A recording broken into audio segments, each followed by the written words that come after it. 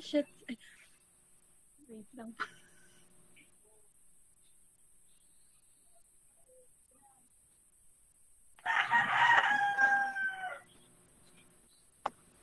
Nakikita na po. Yes po. O, anak. Nagnunog siya. Wait lang, ma'am. Okay. so- Good afternoon, grade 7. I am teacher Risa May. So first, we're going to pray muna po. Before we, um, dear Lord and Father of all, thank you for today. Thank you for ways in which you provide for us all. For your protection and love, we thank you. Help us to focus our heart and minds now on what we are about to learn. Inspire us by your Holy Spirit as well listen and write. Guide us by your eternal light as we'll discover more about the world around us. We ask all this in the name of Jesus. Amen. Wait lang ha. Ay. Nag-off ang cellphone ko.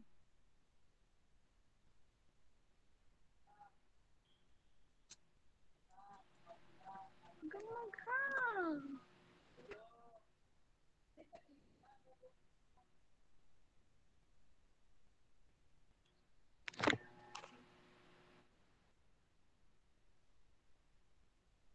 Nag-off siya.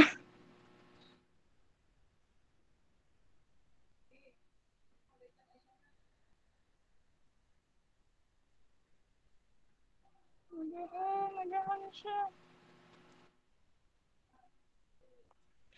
Again, good afternoon, class. Sorry.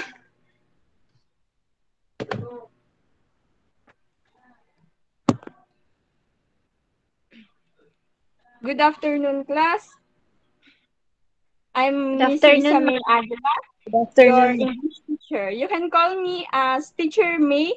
I'm more prepared to call in my second name because it's weird when some when my student call me in my first name because my friends call me at my first name, which is Riza. So call me Teacher May. So I will check your attendance first. So everyone's are present po. So since it's already 1 p.m., you look sleepy na. So please, can you guys stand up po and do some 10 jumping jack and say, shout, gising na gising ako? Can you do that po?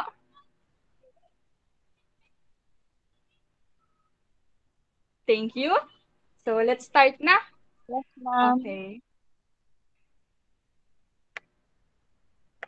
Most of us likely to compare and describing something, di ba? There are many types of comparison in English class. class. So, like simile and metaphor. Are you class familiar about simile and metaphor?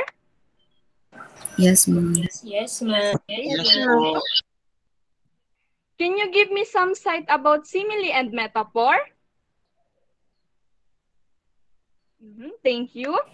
So, before we proceed to our new lesson, what can you say about this picture? Here. What can you say about this first picture? People are talking. Thank you. Another? Someone sick for help. Thank you. Thank you, Miss Jasmine. And another? Last? So, this activity class are related to our topic. I know some of you are likely to describing something, di? So, here, I have another pa. So, here. What can you say about this tree? Can you relate this tree to our life? Yes, full of dreams. Can you give me some example po? Thank you. So, today class, I'm going to discuss the analogy.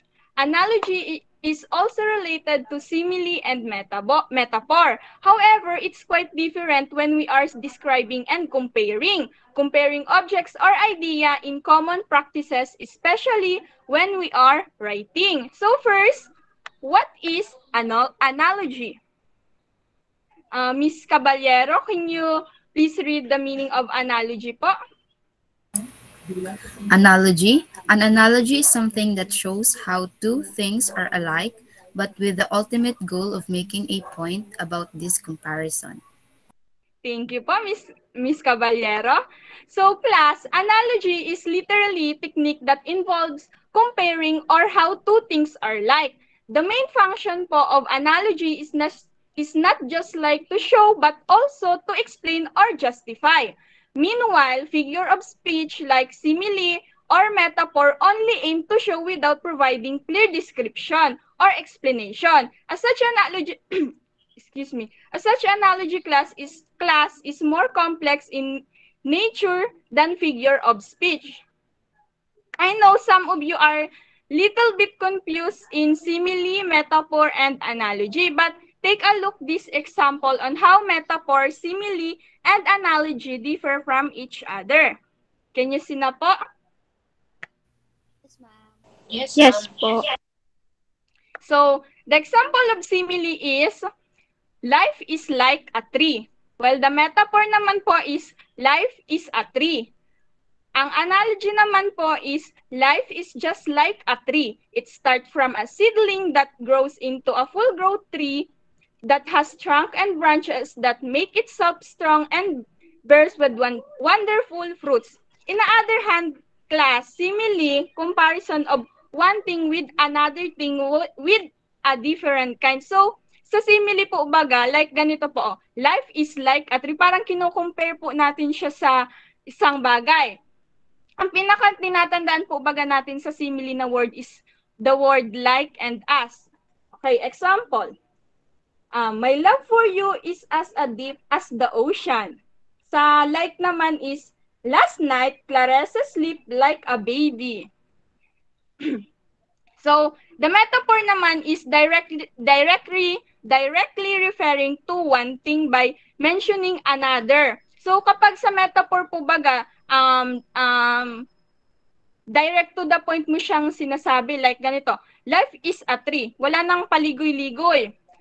While the analogy po is comparison with the two things typically for purposes of explanation or clarification. Kino-compare mo siya sa isang bagay but we have uh, they have um, explanation or clarification para mas maintindihan ng ano ng nakikinig or ng magbabasa yung pinupoint sa ano sa mga word, di ba po? So, can you give me an example of analogy class? Thank you. So, but generally class, there are two types of analogies commonly employed in writing po. Number one is analogies that identify identical relationships. The type of analogy takes the form A is to B as C is to D, and it's often used to directly illustrate similar relationship between two pairs of words, often for the purposes of log- logical argument. For example, class, English, language, mathematics, arithmetic. So the example, the example here, class, shows the connection between English and language and the mathematics and arithmetic. English is basically a subject that subjects that focus on language while the mathematics naman po deals with primary arithmetics or numbers. So the last one naman po is analogy that identify shared abstraction.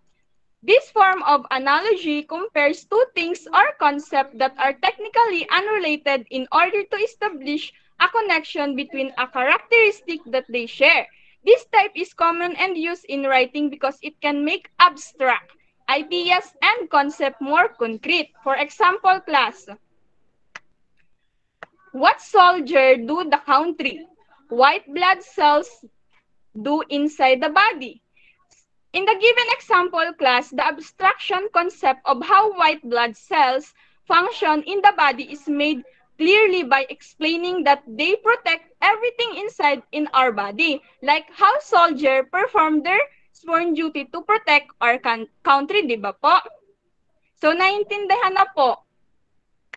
Yes, Teacher May. Yes po. So we we we are going to do the exercise. We have exercise here.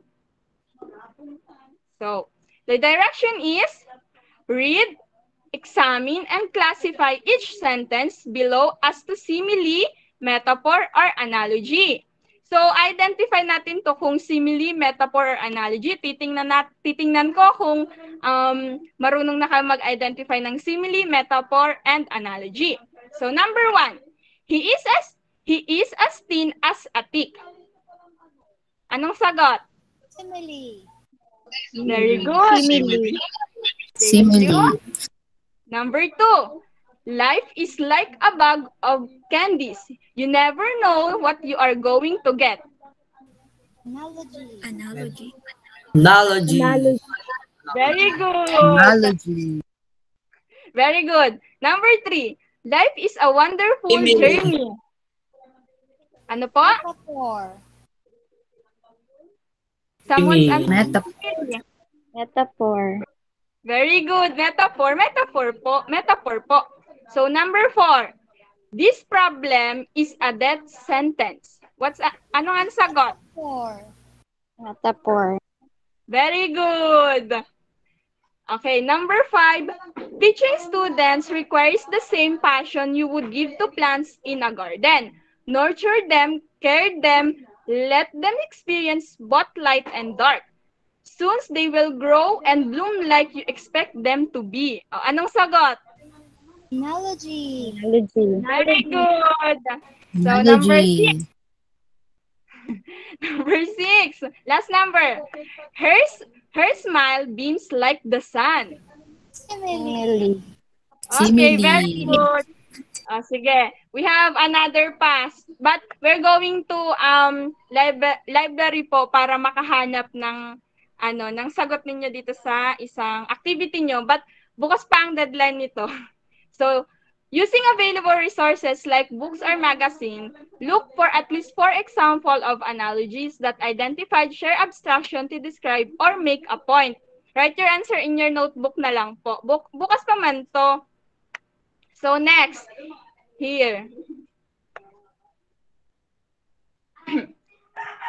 Hi. Identify which the statements below the below are true about analogy. In your notebook, write go if the statement is correct and no if say otherwise. Number one, analogy can show comparison between unrelated things. Go or no? Go. Very good. Number two, analogy is just another term of simi term for simile. No. Very good. Analogy can be used to explain a point. Go. Mm-hmm. Go. Go. Very good. Some analogies compare relationships. Go. Go. Go. Very good. Energetic ah. Analogy can be used to describe unfamiliar concepts. Go. No. Go. Go. It's okay, it's okay. So another we have um groupings to. Friday pang pasahan.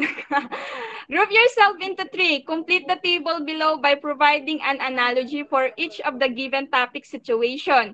Do this in your notebook na lang po. Find your friends. And here the last assignment. In your notebook, write a short essay about any of the topics listen, listen, listed below. Make sure to use analogies in describing or establishing your point. So, pili na lang kayo dyan, class, ng, ano, ng isang topic kung A, the coronavirus pandemic in the eyes of a teenager. B, being kind towards other in times of great need. And then C, keeping the faith in the midst of problems. So, yeah. Depende na sa inyo kung anong gusto ninyo dito sa tatlo. Opo. Individual, bukas ang deadline. So, that's all. Thank you for listening, class. And then, before you leave to our classroom, please, pakiayos po ng upuan bago umalis and proceed po tayo sa library. That's all. Thank you. Thank you, ma'am. Thank you, ma'am. Thank you, ma'am. Thank you, ma'am. Thank you, ma'am. Congrats, Ma'am May.